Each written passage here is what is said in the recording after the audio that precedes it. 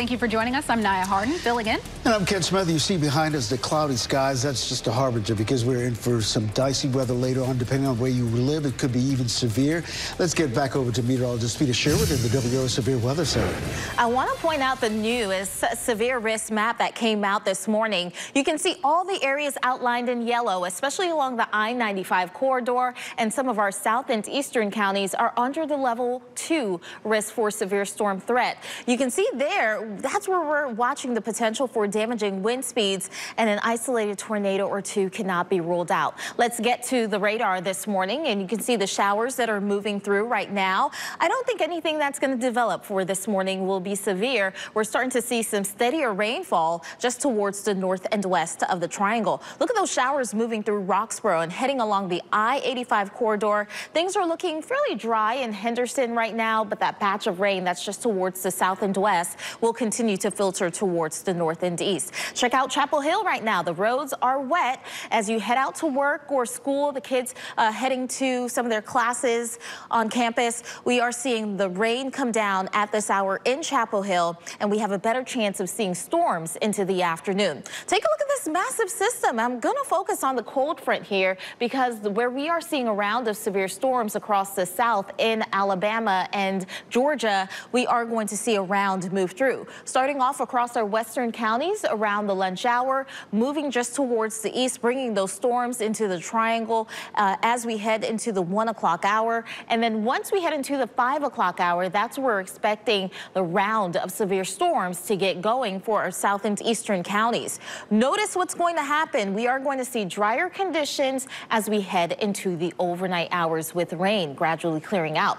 45 the current temperature outside right now, and this afternoon is going to be very warm as well, heading to 63 degrees with some strong winds. Coming up, we are going to peel back the layers on our severe risk that we are expecting for today. Brian?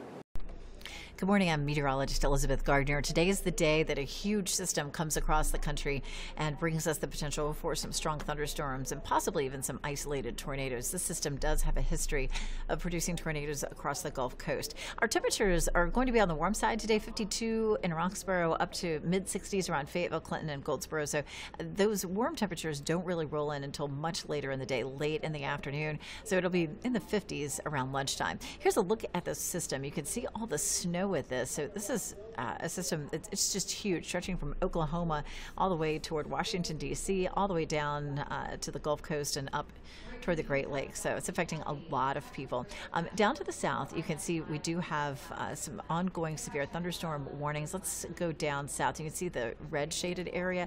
Um, overnight last night and this morning, we've had a tornado watch. That's the red area.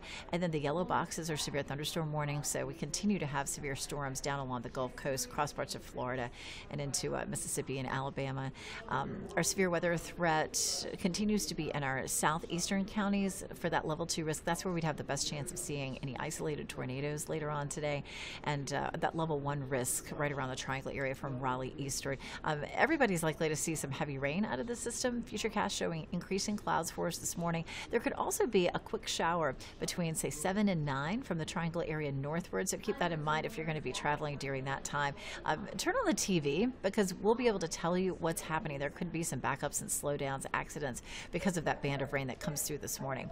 And then you can see by lunchtime, here comes a heavier band of rain. We're going to see gusty winds up to 30, 35 miles per hour, but the severe storms are likely to be later and a little bit farther east. 2 o'clock, looking at rain spreading across the area. But after 5, we start to see things really picking up in intensity. At 5 o'clock from Rocky Mount to Fayetteville to Goldsboro to Clinton, that's where we're seeing some of the stronger storms developing. At 6 o'clock from, again, Rocky Mount to Fayetteville, and then that line slides eastward. Right there at 7 o'clock, you see where it's really dark red, that's an indication of where we could really start to see some of those stronger storms with the potential for some tornadoes. We'll continue to see some rain on and off after that up until around midnight. Wind speed forecast for everybody. It's going to be gusty this afternoon, 30 to 35 mile per hour winds.